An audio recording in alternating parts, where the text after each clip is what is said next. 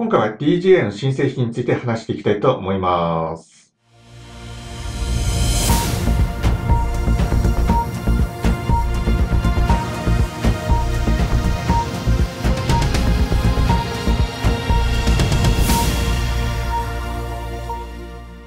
はい、どうも、サラクです。皆さん、ドローンを楽しく飛ばしますか？今日はですね、えー、2024年1月11日木曜日になります。今日の話題なんですけども、えー、DJI からですね、新しく出た製品が一つ、あともう一つがですね、これから出てくると思われる製品、えー、こちらについてですね、話していきたいと思います。その前にですね、新しく起こした私のチャンネルの方、えー、紹介させていただきます。こちらになります。はい、えー、こちらですね、今、えー、撮ってるチャンネルはですね、ドローンのチャンネルなんですけども、それとは別にですね、えー、サラクチタビチャンネルというですね、えー、旅のチャンネルを起こしております。こちらのチャンネルに関してはですね、えー、特にですね、旅に関するですね、ものを上げております。で、今やってるんですね、こちらの方にもね、あるんですけども、まあ、挑戦してまして、えー、千葉県をですね、えー、徒歩で一周するということですね、まあ、約530キロある、えー、ところなんですけども、まあ、距離にしてですね、まあ、中線路69次ということで、日本橋からですね、京都の三条大橋程度のですね、えー、距離を歩いているというような形になってます。今日もですね、一本こちらの方に関しての、え、企画の動画上げましたので、えー、ぜひですね、え、見ていただいて、もしですね、よろしければですね、こちらのですね、えー、セラクのチタビチャンネルの方、え、こちらの方の、え、チャンネル登録と、あと拡散の方、え、よろしくお願いします。はい、ということですね、えー、チャンネルの紹介は以上となります。ではですね、えー、今日の本題に行きたいと思うんですけども、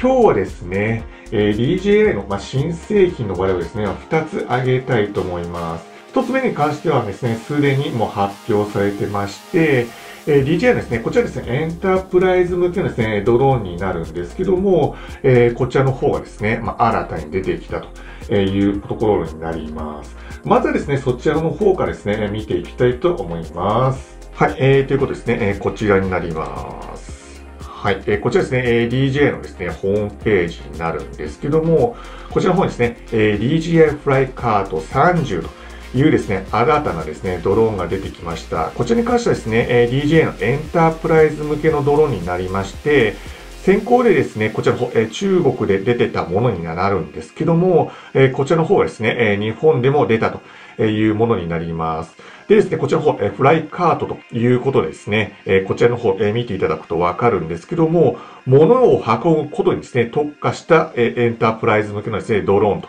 えー、いうことになっております。ちょっとですね、下の方ね、えー、見ていきたいと思うんですけども、はい、えー、こちらですね、えー、物流ドローン DJI フライカート30が誕生しましたと、えー、いうことですね。えー、こちらですね、物流ドローンとしてですね、新たに出てきたものになります。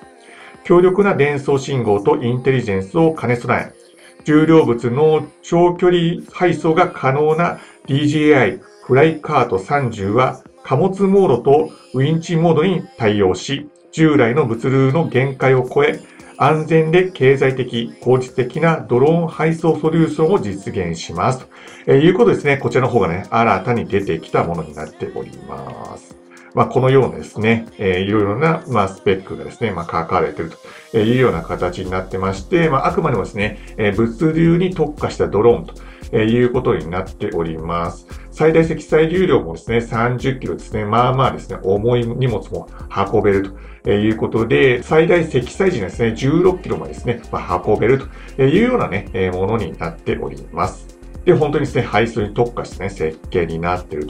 ということで、必要なものが必要な場所へということですね。はい、こちらですね、積載作量、こちらの方にもね、書いてある通り30キロということですね。で、シングルバッテリーの場合は最大積載量がですね、40キロということになっているみたいです。で、どんな天候でも実力を発揮するものになっているということで、過酷な高度や気象条件下でも24時間運用に耐えることができるんですね、ドローンになっております。最大飛行高度が6000メートル。で、動作環境温度がマイナス20度から45度。で、保護等級はですね、IP55 ですね。で、最大風圧抵抗が秒速12メートルという風になっております。で、安全性と信頼性を兼ね備えた配送を行うことができるとえいうことでですね、緊急時に安全に、え着陸できるようなですね、えものになっているということで、大体着陸地点設定というものがですね、え複数、えこちらの方ですね、え大体着陸地点をですね、設定できるというものになってますし、あと離着陸保護の方もですね、えできるようになってますし、さらにですね、えパラシュートもですね、こういう風にですね、内蔵されているものになってます。万が一ですね、落ちた時もですね、こういう風にですね、パラシュートをですね、開くことができるというものになっております。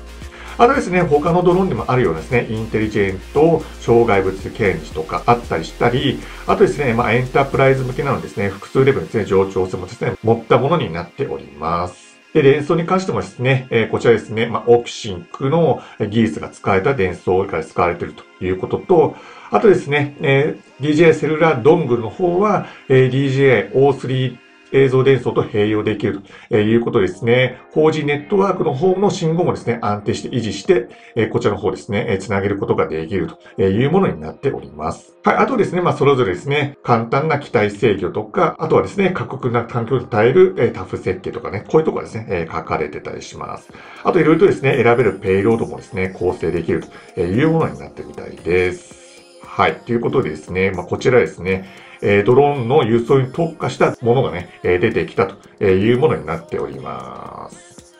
はい、ということですね。まあ、こちらですね、先行して、え中国で発売されたんですけども、まあ、今回ですね、新たに日本でもですね、発売されたということになっております。はい、ということですね、えー、まずはですね、えこちらがですね、エンタープライズ向けのものがですね、新たに日本でもですね、え物流のドローンが出てきたという話になっております。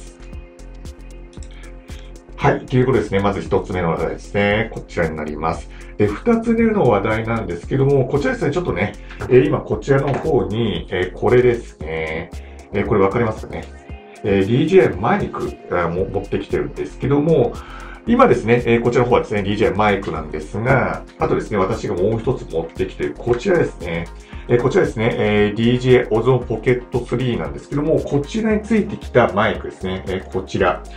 これがですね、DJ マイク2の、これですね、え送信用のものになっております。まあ、つまりですね、こちらにマイクつけて、このですね、えー、DJ オゾポケットと、え、更新するような形のですね、えワイヤレスマイクがあったんですけども、まあ、こちらですね、えレシーバーというのが単体ではね、売られてませんでした。あくまでもまだですね、えトランスミッターとして、え出てきたんですけども、これのですね、専用のえ、受信機というものはね、まだ出てきてない状況です。今現状ですね、こちらですね、え、DJI マイクの方ですね、ちょっと開けますけど、このですね、DJI マイクだけがですね、え、こちらですね、え受信と送信と、あとこういう風なですね、えバッテリーケースとか、こういうものがね、えついてたんですけども、それのですね、ま、進化したこちらのですね、DJI マイク2に関してはまだですね、え受信機とか、こういう風なですね、充電バッテリーケースとかね、まだ出てこなかった状況なんですが、まあ、こちらの方はですね、アメリカの FCC の方で、え新たにね、え登録されたことが分かりました。こちらの方ですね、ちょっとね、え見ていきたいと思います。はい、ということですね、えー、こちらになります。FCCID ということでですね、アメリカのですね、えー、こちら電波を扱う当局なんですけども、こちらの方にね、ID がありまして、こちらの方にですね、追加されてます。DJ マイク2レシーバーということですね、えー、追加されております。ということですね、えこちらの方はですね、まあ、いよいよ出てくるということがですね、この FCC のですね、まあ、登録されたことによってですね、えわかりました。で、さらにですね、えこちらの方の下の方に行くと、まあ、ラベルの方もね、えこちらの方、え見ることができます。まあ、実際ですね、えこちらになるんですけども、まこちらの方でもね、技的がありますね。このコードにね、技的マークがあるので、まあ、DJ マイク2がですね、まあ、日本でも、まあ、間もなくですね、発売されるということになってます。先ほど言った通りですね、まあ、送信機だけしかまだ発売されてない状況なので、今回ですね、いよいよ新たにですね、まあ、レシーバーの方もね、出てくるということが分かりました。はい、ということで、まあ、FCC がね、出てきたというだけなんですけども、まあ、間もなくね、出てくるということがですね、こちらから分かります。はい、ということですね。えー、こちらですね、リージャンマイク2のですね、まだトランスミッターだけしか、えー、出てないかったんですけども、いよいよですね、えー、こちらがですね、使えるレシーバーと、あとはですね、多分なんですけども、このようなですね、え、充電ケースとかもね、発売されるんじゃないかなと思っております。もしかしたら、まあ、オズモモバイルと同時に出てくるのかもしれません。あの、スマホとかに使えるですね、ジンバルがですね、多分ですね、新たに出てくると思われるんですけども、まあ、そちらに合わせてですね、まあ、出てくる可能性というのがね、十分考えられるかなと思ってます。あくまでもですね、今はこちらですね、えー、DJ Osmo Pocket 3にですね、ついてくるマイクとしてしかね、今は発売されてないというか、まあ、どちらかというと、このね、こちらのコンボ製品としてね、こちらのマイクがね、えー、使えなかったんですけども、まあ、いよいよですね、まあ、レシーバーも出てくるということを考えればですね、まあ、こちらの方ですね、マイク単体でもですね、使えるようなことがですね、まあ、いずれね、できるようになるのかなと思っております。はい、ということですね、えー、今回は、まあ、DJI のですね、物流のドローン、え、DJI フライカート30というものと、あとですね、え、DJI オゾポケット3についてきた DJI マイク2の、まあ、今度はですね、レシーバーの方、え、こちらの方がですね、FCC-ID もね、登録された話をさせていただきました。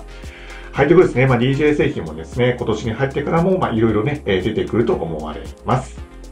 はい、ということですね、え今日の話題は以上となります。この動画のよろしくは高評ボタン、あとチャンネル登録の方よろしくお願いします。随時最新情報もアップデートしてまいりますので、ベルマーク、通知ボタンの方、オンにしていただくとありがたいです。